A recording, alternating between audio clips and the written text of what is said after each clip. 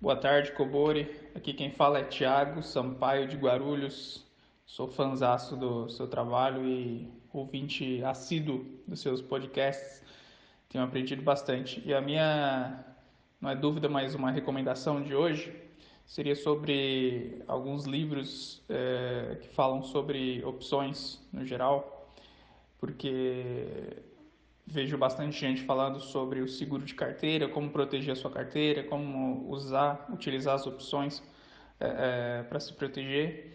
E eu queria saber é, se existe e, se sim, quais livros o professor recomenda para a gente se aprofundar mais, entender um pouco melhor desse mercado.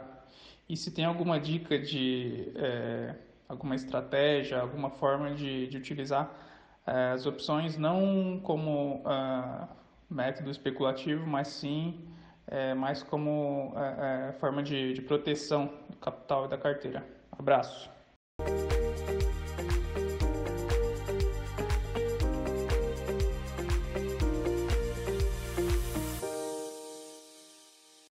Bem, vamos lá, Tiago de Guarulhos. Tiago, vamos lá. É, opções. Opções tem forma de você utilizar de forma estruturada. Na realidade, opções e futuros os mercados eles foram criados para você fazer hedge, né, para você se proteger.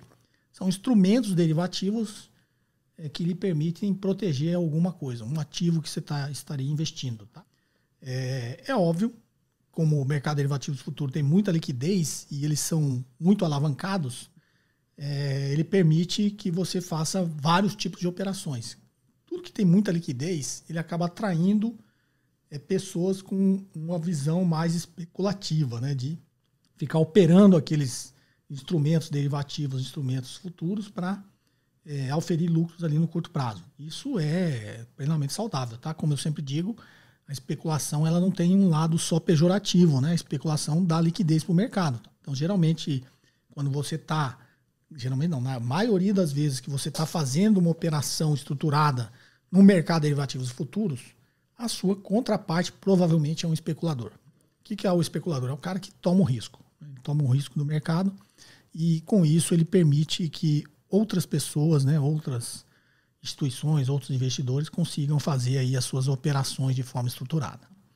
Então eu recomendo, pelo menos aqui no meu canal, todos que forem utilizar o mercado de futuro, utilizar sob o ponto de vista é, de operações estruturadas como forma é, de proteção ou de remuneração de carteira, esse tipo de coisa.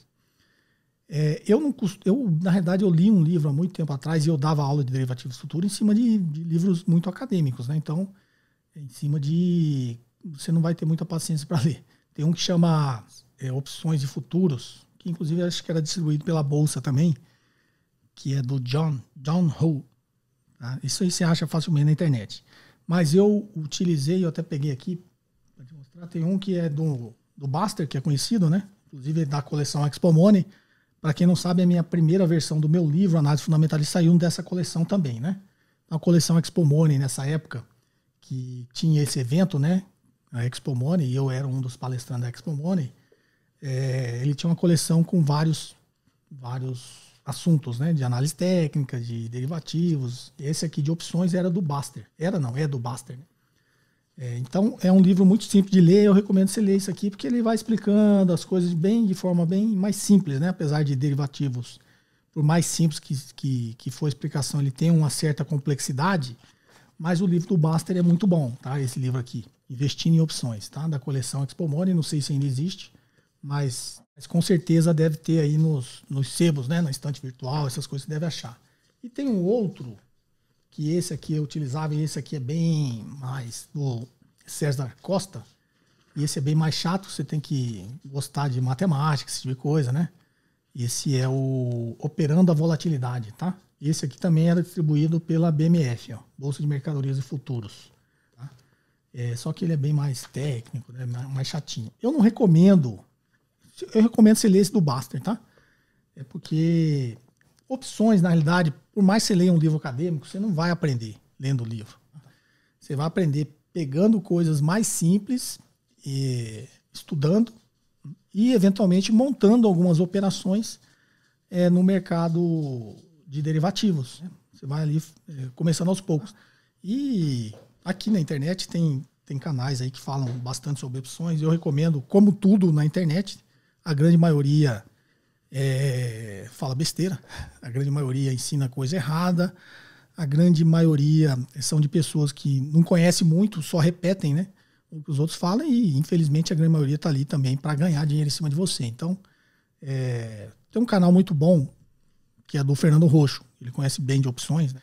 que é um amigo aí da, do, do meu amigo Richard Rittenban. Eles tinham até um programa junto na, na. É, e ele conhece bastante opções. Então, dá uma olhada no canal dele que você acaba aprendendo bastante também.